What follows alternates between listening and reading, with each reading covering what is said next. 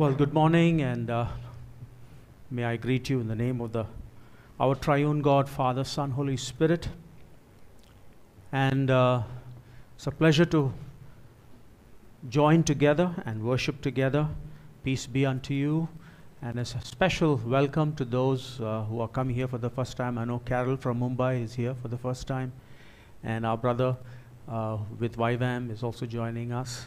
Thank you, and so, I see a few others, but thank you so much for uh, joining us today. Well, today is the sixth Sunday, as we say, from Resurrection Day or Easter. Some people don't like the word Easter, but uh, but we know what we mean. And uh, uh, here in, in, in our fellowship in GCI, we follow what we call is a worship calendar. And if I can request uh, uh, our team to put up that picture on the screen. Uh, is it possible? No, you can't make it bigger, is it? Uh, it's a little, yeah, there you are. So the worship calendar looks like this. The first half of the worship calendar it actually begins with the coming of our Lord, the Advent season, uh, Christmas, the incarnation, Jesus is born. And so it focuses, the first half focuses on Christ, his ministry, what he accomplished for us. Uh, it moves on from there to, uh, you know, the uh, Epiphany, and then, of course, the Easter season. Um, from there, the second half uh, is what we have come to call ordinary time, focuses uh, on living what was learned during the first half. Not that we don't do it in the first half also, but that's a kind of a circle. But right in the middle, it's all Christ centered. It's Jesus Christ our Lord. It is focused on Him entirely. He is the reason why we have a worship calendar. He is the reason why we come together. He is the reason, indeed, for our faith, our belief. Even as Paul said, if Christ isn't raised, then of course he was just another human being, and our faith is fake, all false. But we know it isn't. We know he has been raised. Yes, thank you for that picture there. I thought I'll just uh, uh, acquaint you with how we um, sort of, uh, you know, view our worship. Uh, and right through the year, we are focused on Jesus, bringing the various aspects, helping us to understand how we then live and lead our lives. Well, in two Sundays, we will be coming up to what is called a Pentecost Sunday. And uh, after that, we will be moving into that so called ordinary time. Not that it is very ordinary, but it is, you know, everything with God is extraordinary. And so, um, uh, so we continue to focus on our, you know, living and the way we want to dedicate our lives to Jesus. Well, still, we are still in, you know, what we call is Easter time. And so we want to focus on one interesting event um, that is recorded for us in the Bible, which was read to us uh, today in the scripture reading. And the event is the appearance of Jesus, especially to Thomas. Of course, he appeared before to you know Mary Magdalene and the other ladies, and then of course to the disciples. But here was a special appearance of Jesus uh, to Thomas. And so, doubting Thomas, as we call him, becomes believing Thomas, right? If you can put it that way. And interestingly enough, a vast majority of Christians today who have ever lived have not physically seen Jesus like Thomas did and like all the other disciples did, and yet have come to believe, including all of us here and all our Christians today on the earth. We're not visually, physically seen Jesus, but then we have come to believe. And uh, uh, I want to make some comments today about belief, the very aspect and concept and reality of belief. And what I think has come, uh, or, you know, uh, with what Jesus said, believing without seeing. And you know, that is what uh, Jesus said, as we have read in the scripture. Blessed are those who have not seen and yet have believed. All right? So, let me first make some clarifications, and one is you know, when we talk about doubting Thomas, we could tend, we tend to think that all the other disciples were much better than Thomas because they believed. Right? We would, we, we would tend to conclude that, uh, um, that the others didn't need to touch Jesus, you know, uh, to believe. And that is not really true. Even the others had a hard time believing that Jesus uh, had been resurrected. It took an appearance even to them, you know, to come to believe in Jesus Christ. In other words, all of them were doubting disciples. And so, why only focus on doubting Thomas, right? Uh, all the disciples were doubting until there was that special revelation to them visually so that they could all believe. So let's uh, be a little kind on Thomas because uh, we are not, uh, you know, Thomas was not really uh, the only one who struggled to believe, you know, without seeing. Secondly, we might tend to think that Jesus was kind of berating Thomas, you know, kind of scolding him, uh, you know, maybe, uh, uh, you know, putting him down by saying, hey, uh, you know, I mean, uh, come, you know, touch me. And then he says, blessed are those who believe, even without seeing. And we might tend to think that Jesus was being a little harsh on him. But again, that is probably a misnomer. We do know that Thomas wanted, as we would call today, empirical evidence, right? to use a technical word. Uh, empirical basically means information that is acquired by observation or experimentation. And uh, is there anything wrong with that? Is there anything wrong to be sure of what you come to understand and want to believe, right? There is nothing wrong in that. Uh, now, Thomas had a problem there and he needed that so called empirical evidence, and Jesus was willing to provide it. Jesus was willing to make a special appearance, you know, in his life and provide that evidence.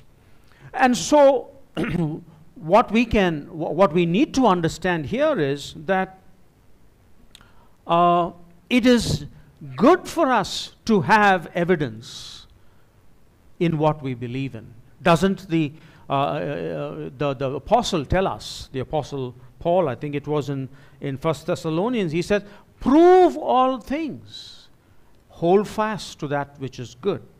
Prove all things. In other words, God encourages evidence. He encourages us not to be, you know, too fast to believe everything that comes along our way.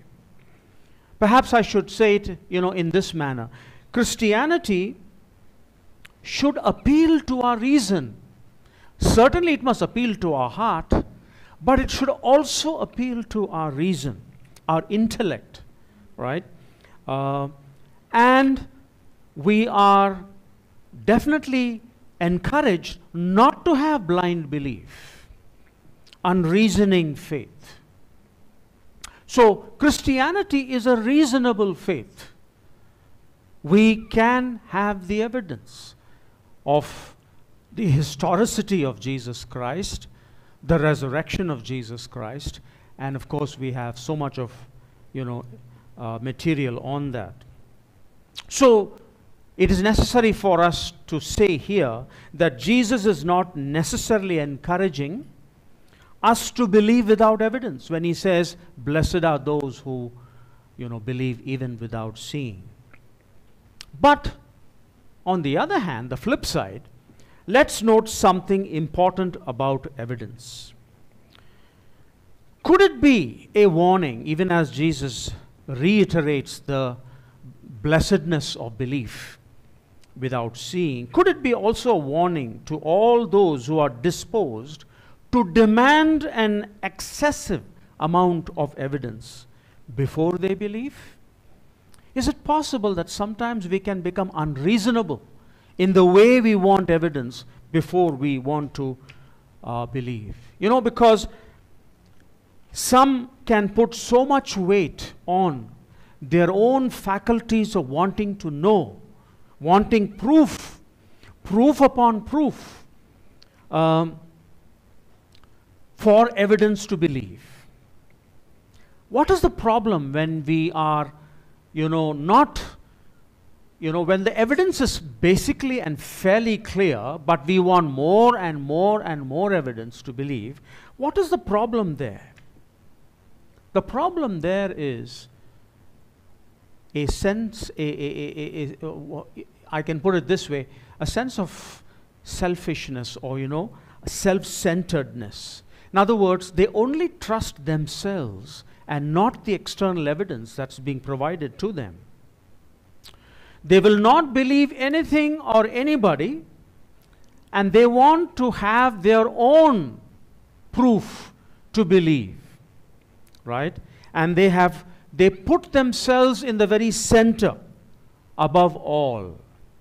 And that's where the problem is. And sometimes they want evidence even putting God out of the picture.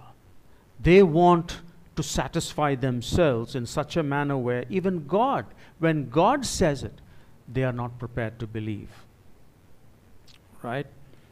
Um, in, if you remember in John chapter 12, uh, here it is recorded, even after Jesus had performed so many signs in their presence, they still would not believe in him. That's what the, the Gospels record. That Jesus, everything was so evident about him, and yet some of the religious teachers, the Pharisees and the Sadducees, and on all the, the temple priests, they were not willing to give him, you know, that, uh, that privilege to finally acknowledge he was the Messiah even after seeing signs after signs and after signs. And here is the problem how much evidence is necessary for us to believe? And if all of the evidence that is presented, and yet people will find it difficult to believe, could it be a symptom? Could it be a sign of unbelief? That I don't want to believe.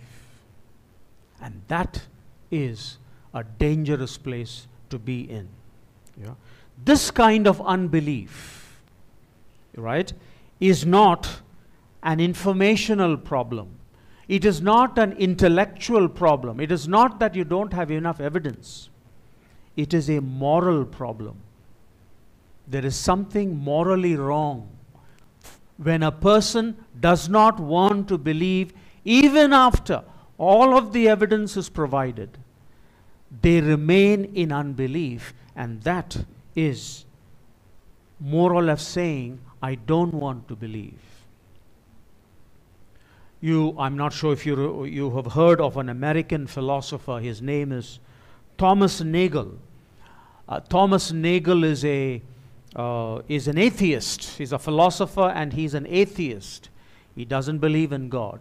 He makes a very interesting statement uh, in the light of what we have just discussed. And I just want to read a quote from him uh, in his book, which is titled The Last Word. He says, It isn't just that I don't believe in God.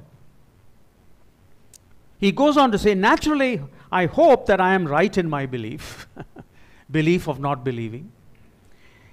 It's that, and here is the point that he's making it's that I hope there is no God. Right? I don't want there to be a God. I don't want the universe to be like that. That is a very naked, powerful admission of his unbelief. Basically, what he's saying is, I don't want to believe. And like I said, those who have this kind of a problem where they will not, they will remain in unbelief, will face many problems in life. Right? Because they will not want to believe anybody. They will always struggle with the sense of belief, which means they cannot trust anybody. They live a life without trust. They will not give their trust to anyone. Right? Because belief and trust goes together. You see, some find it so hard to trust others, but what we have to realize is you cannot live your life without trust. You cannot live your life without trust. We have to learn to trust. Now, I'm not saying that we have to trust without any evidence. But when the evidence is provided and you still remain in unbelief, well, that's, that's a horrible way to live. Because why? I want to go on to say, you know, God has very clearly said to us that um, He wants us to live with a sense of community, right? Uh, uh, uh aren't we, uh, uh, aren't we, uh, haven't we read in the New Testament where we are told that we have to live loving God, loving our neighbor, right? I mean, that is what even Jesus reiterated. Loving God, loving others, loving humankind. But when there is this unbelief that is constantly, you know, uh, uh, uh, troubling somebody, they will find it hard to trust and enjoy a sense of community. Right? When there is no trust, you are unable to love because you will not trust in giving your love to anybody. When there is unbelief, you cannot make friends because you will not trust anybody because you feel that, oh, that person might uh, harm me. Right? When there is no belief, you will be suspicious of everybody. You will live with a, a life of suspicion. And that's not a very healthy way to live, you know. Right? What happens when you continue to persist in unbelief? It leads to isolation. It leads to loneliness and isolation and loneliness leads to emotional problems. Very difficult to find intimacy, very difficult to experience intimacy in relationships. You will fear to commit yourselves. And this is one problem many young people go through today. They are finding it difficult to commit themselves in a relationship because they can't trust. Now, I'm not saying you should trust blindly, but on the other hand, if you can just never trust, it is not a very nice way to live because you will struggle and you will find a sense of loneliness which will lead to, you know, emotional disturbances and isolation. But let's get back to the story. I've gone off into a philosophical discussion, but let's get back to the story. We were talking about doubting, let's not say Thomas anymore, doubting disciples, right? Um, let's catch the story in John 20, verse 29. Then Jesus told them, Because you have seen me, you have believed. Talking to Thomas here. Blessed are those who have not seen and yet have believed. Now, right away, you might say, Oh, there are two types of people one who believe by seeing, one who believe by not seeing. And what happens when you have this duality, this uh, two two-ness? Which is better than the other, right? Which is superior than the other? So we might tend to think, oh, you know, I'm superior because I haven't seen and yet believe. So we tend to think that those who have a problem, you know, I mean, uh, uh have seen and believe are kind of inferior. Now, that is uh, once again a wrong conclusion to make. What as much as I understand, and I'm sure there are more ways to look at this particular saying of Jesus, what is Jesus saying here? What is he intending to say? What he's intending to say is Jesus is promising that He is with us, those who believe without seeing, as much as He is with us, those who have seen and believed. In other words, we can experience the same closeness with Jesus, even if you have seen or not seen, but yet have believed. You can experience the same power of Jesus that the disciples experienced because they saw and believed. And we might think, oh, they are more superior or, or, or, or inferior, whatever. But they had more power. But we can experience that same power that they had. Right? We can um, experience the same worship that Thomas did as he sunk down on his knees and he said, My Lord and my God. That same worship, that same experience of worship, we can experience even though we have not seen Jesus. Right? In other words, it's Jesus is encouraging. When he says, Blessed are those who have not seen and yet believe, he's encouraging us that even though you have not seen, I am with you. I am, I will, I will have the same presence with you as I've had with the disciples. Right? We can claim that blessing that Jesus is pronouncing upon us. Now, let's come to the question why is it blessed to believe in Jesus? Seen or not seen? I hope, right, I've been able to establish the fact that we don't have to distinguish between the two. Jesus is pronouncing a blessing. You are blessed whether you're seen or not seen. But what is this blessing? Why is it blessed to believe in Jesus, seen or not seen? And the crucial scripture there is verse 30. Let me read it for you. Jesus performed many other signs in the presence of his disciples, which are not recorded in the book. But these are written that you may believe that Jesus is the Messiah, the Son of God. And here is the crucial point. and that by believing you may have life in His name. That we may have life in His name. We have life because we believe. Nothing else can give us life, brothers and sisters. Nothing else can give us life except we unite ourselves in our belief in Jesus. Because life is in Him and Him only. It is for Him to give us life. It's our belief in Him that will impart for us and give us the right to have life. And our belief is special those of us who have put our faith in Christ our Lord. Our belief is special because it's a belief in a person. It's not just belief in a philosophy or a set of rules or a set of principles or a formula or an ideology. It's belief in a person, and the person of Jesus Christ is what we are talking of. And the uniqueness of Christianity is this believing a person, not just what he teaches or what a philosophy he spreads. Belief in a person. Because Jesus Christ is the way, the truth, and the life. Right? Um, that's why Christianity is not just a way of life. You know, many times you have heard Christianity is a way of life.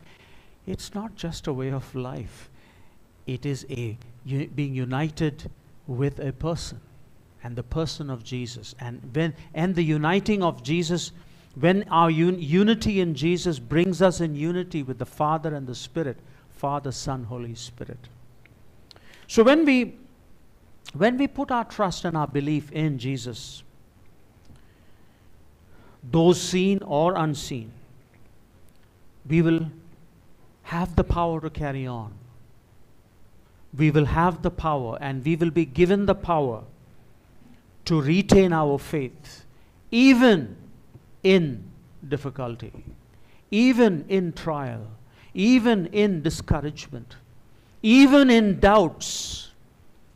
Don't think that we have we don't doubt. Many of us doubt and wonder, where are you, God? Even the prophet David doubted. All you have to do is read the Psalms. And so, here is the important thing. When Jesus said that you will have life in His name, we will have life today, be able to retain our faith and live a life for Jesus when we believe in Him, even in the most difficult of circumstances. Believing in Jesus will give us that special strength to face the struggles, the problems, so that you may not give up, that you may continue to walk the walk until the very end, whatever that end might be. And like the apostle said, the apostle Paul said, I can do all things through him who gives me strength. That's the strength you and I will have a blessing of. We will be blessed with that strength because of our belief in Jesus. Anne, that's the name of a lady in living in Australia. That's all we have from the story that I read. Anne, living in Australia, was born with a severe disability. Once again, the disability is not described. But she had a major problem with life because she constantly was so discouraged because of her disability, she just found it hard to carry on with life. And she writes in this story that I read I wondered, she says, why I was still alive. She became suicidal. Because she goes on to say, the burden of my disability was so great but my parents, she says, who lived the word of life, always gave me the same answer. And God loves you immensely and has a special plan for you. Those parents helped her to nurture that belief in Jesus Christ. Her parents gave her Christ and encouraged her to believe in Him, and then she will be able she will be given the strength to live in spite of her disability. She took up that challenge. She continued to believe in Jesus. And interestingly enough, she writes, you know, uh, in this story, uh, My night has no darkness. Very profound statement. My night has no darkness. She goes on to say, This has been my daily experience. Every time I chose to love and, and serve those around me, there is no more darkness. And I can experience the love that God has for me. She's able to live her life in spite of her disability because of the trust and belief that she reposed in Jesus Christ her Lord. And in that trust, in that belief, she decided to love others, even as God loved her. She believed God loved her, in spite of the fact that she was a mangled human being. She was able to give that love. And so, in spite of the fact that she was living a night, it was as though a night, but in that night, there was no darkness for her. Even though she could not see and experience healing or whatever, she chose to believe, and because of that, for her, there was no darkness, in spite of the fact that she was living a night. The night was long. Blessed are those who believe, though they have not seen. And so, brethren, when life is hard, when life is difficult, when you feel the night is long, you are unable to see and experience physically the healing or whatever of Jesus Christ, we are encouraged to believe. Believe, believe that He is alive. Believe that He will strengthen you. And He will see you through those difficulties. Even though those circumstances may not necessarily be taken away, our belief in Jesus will see us through. And like Thomas, let us all fall down and worship Him, even though we have not seen Him. Blessed are those who have not seen and yet have believed. I'd like to lead you into the communion at this time. And uh, today, the host and the wine, the bread and wine, has been prepared by us, by the Sandry family. And I request them to bring it forward.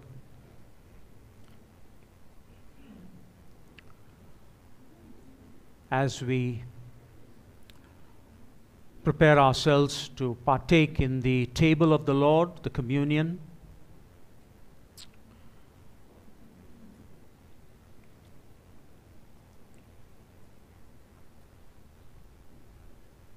Right.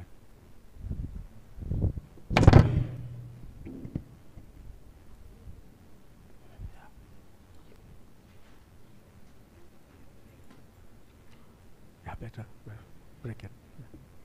As uh, the bread and wine is being prepared for us, uh, let me lead you into your preparation for taking of the communion. We are given a story in the book of Acts about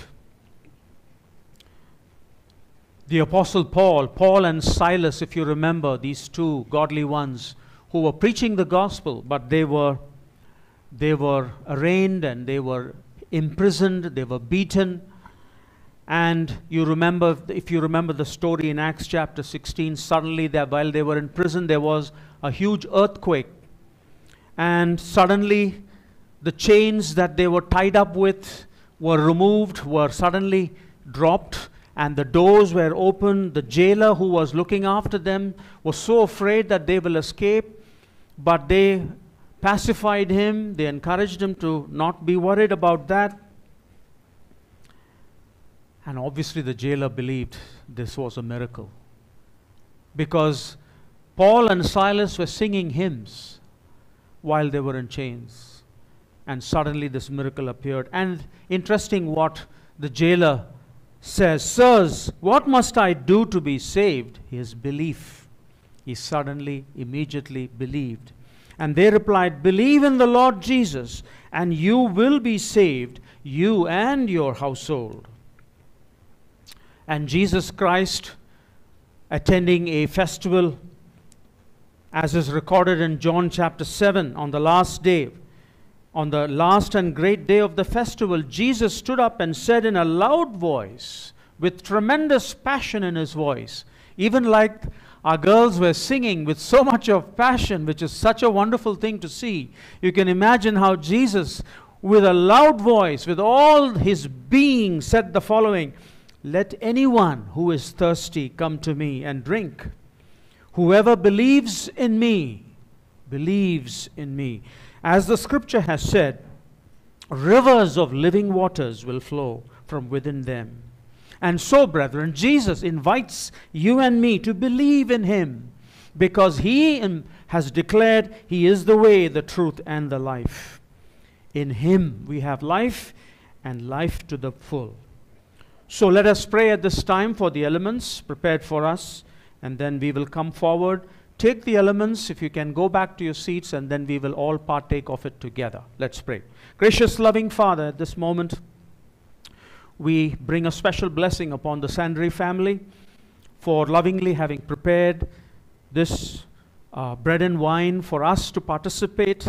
And we know what a special occasion it is when we are able to come to the table, Lord, that you have prepared.